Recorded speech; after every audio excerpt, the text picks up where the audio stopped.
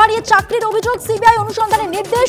বয়স বাড়িয়ে নবম, দশমের শিক্ষক নিয়োগের অভিযোগ উঠেছে এবং সিবিআই কে অনুসন্ধানের নির্দেশ দিয়েছেন বিচারপতি বিশ্বজিৎ বসু। দু হাজার ষোলোর এসএলএসটির প্রেক্ষিতে নিয়োগের অভিযোগ উঠছে। মাধ্যমিক এবং উচ্চ মাধ্যমিকে নম্বরে কারচুপির অভিযোগ উঠেছে। অবৈধভাবে নিয়োগের অভিযোগ। একুশ জনের তালিকা পেশ মামলাকারীর। একুশ জনের তালিকা পেশ করেছে মামলাকারী। একুশ জনকে ডেকে জিজ্ঞাসাবাদ করবে সিবিআই।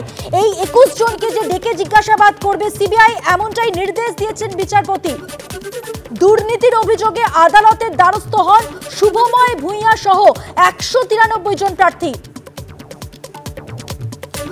অনেক যোগ্য প্রার্থী রয়েছে, তাই প্যানেল বাতিল করছি না। হলে পুরো প্যানেল বাতিল করে দিতাম, এমনটাই হুঁশিয়ারি দিয়েছেন বিচারপতি।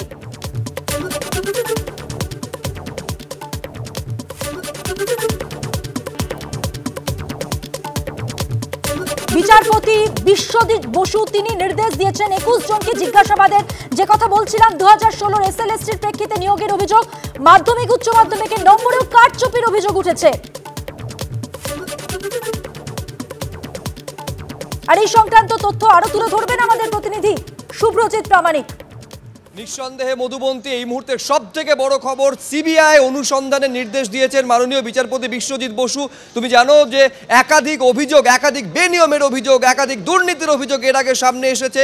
তার মধ্যে যেমন রয়েছে যে যোগ্য না হওয়া সত্ত্বেও তারা চাকরি পেয়েছেন, শূন্য পেয়েও তারা চাকরি পেয়েছেন।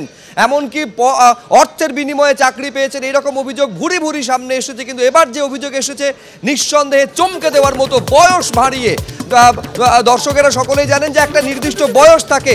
এই এসএসসিতে চাকরি পাওয়ার জন্য, স্কুল শিক্ষক হওয়ার জন্য সেই বয়স অবধি পরীক্ষা দিতে পারেন তারা। কিন্তু সেই বয়স ভারিয়ে এবার চাকরি পেয়েছেন এরকম অভিযোগ সামনে এসেছে, শুধু বয়স ভারিয়ে নয়, যে মাধ্যমিকের যে নাম্বার, উচ্চ মাধ্যমিকের যে প্রাপ্ত নাম্বার সেই নাম্বার পর্যন্ত পরিবর্তন করা হয়েছে।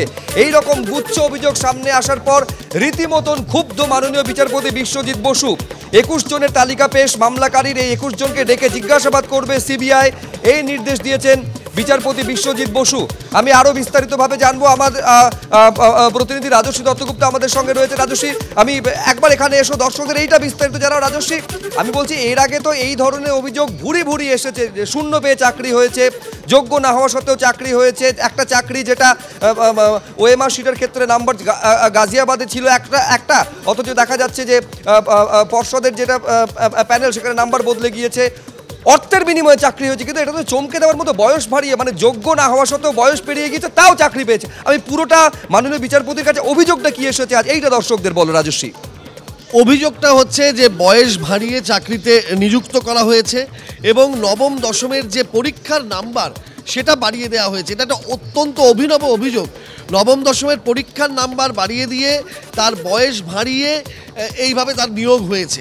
এবং একের পর এক দুর্নীতির অভিযোগে তদন্ত হচ্ছে, সিবিআই তদন্ত করছে, আবারও একটা নতুন মামলার তদন্ত কিন্তু এবারে সিবিআইকে দিলেন বিচারপতি বিশ্বজিৎ বসু।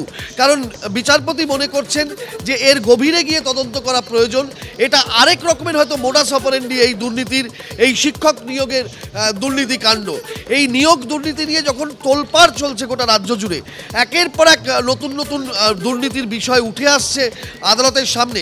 সেই প্রেক্ষাপটে আবারও একটা নতুন রকমের দুর্নীতির সন্ধান পাওয়া গেল, অভিযোগ উঠল এবং সেই অভিযোগ খতিয়ে দেখতে সেই কেন্দ্রীয় গোয়েন্দা সংস্থাকেই কিন্তু হাইকোর্ট নির্দেশ দিল, এইটা তদন্ত করে খতিয়ে দেখে সত্য উদ্ঘাটনের জন্য।